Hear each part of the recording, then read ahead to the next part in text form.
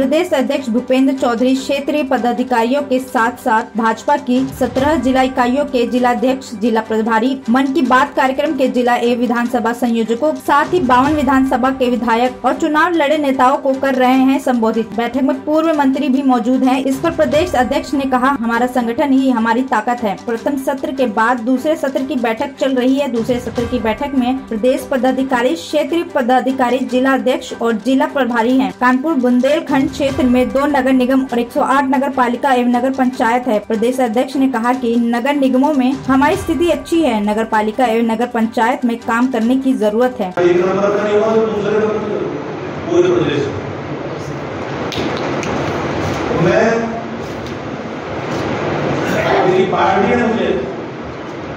तो। तो अनुभव को प्राप्त करने का अवसर दिया। आभारी हूँ अपने सभी कार्यकर्ता भाई बहनों का। कारण हम सब लोग को आशीर्वाद से